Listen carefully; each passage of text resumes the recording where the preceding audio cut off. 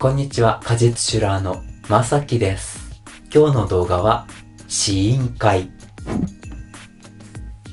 こちらは以前つけたカシス種ですが、つけてから6ヶ月の時が過ぎ去りましたので、今日は第3回目の試飲を行っていきたいと思います。はい、こちらが近くからの映像です。相変わらず綺麗なワインカラーですね。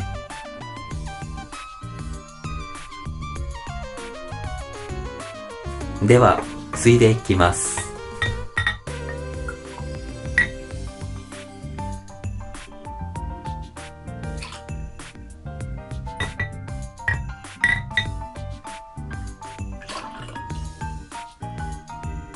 告げました。では、飲んでいきます。うん、美味しい。カシスらしい味を保っている。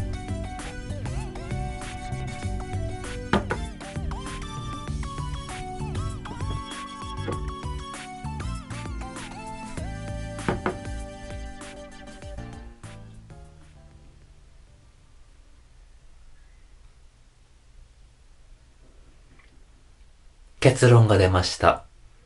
こちらの6ヶ月目のカシス種、評定は4.1ポイントです。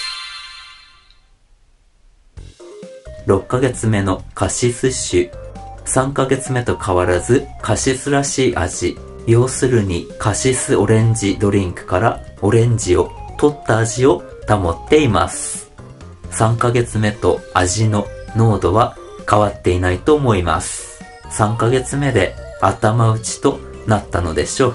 3ヶ月目に付け加わった後味の苦しぶみも健在で、それがカシスの甘い香りと対比になっているという構図もそのままです。美味しい果実酒だと思います。以前の試飲の時より時間経過によってアルコールがほぐれて口当たりが柔らかくなったように思いますので少し氷点が上がっています。それでは今日の試飲動画を終わりといたします。最後までご視聴いただきありがとうございました。